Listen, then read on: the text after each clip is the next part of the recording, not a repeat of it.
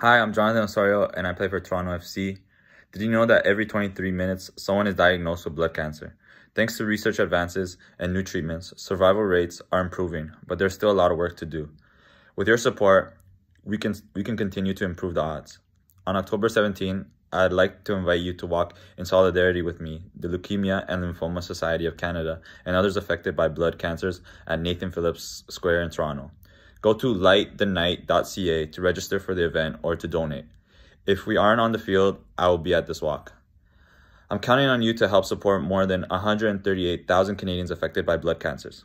No amount is too small. Every dollar counts.